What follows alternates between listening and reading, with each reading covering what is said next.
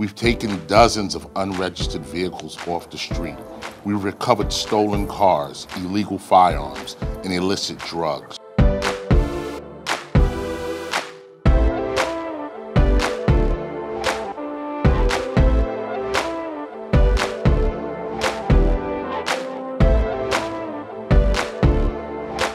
Their efforts are increasingly aided by the fact that after the NYPD has arrested them, the criminal justice system fails to hold them appropriately accountable for their actions.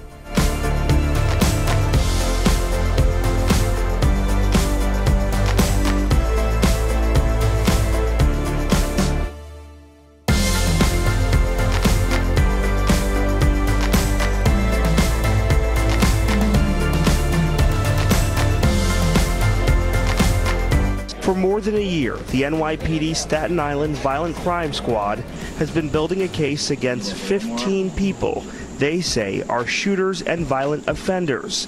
Their turf, Jersey Street, which in four months last year saw eight shootings, including a murder.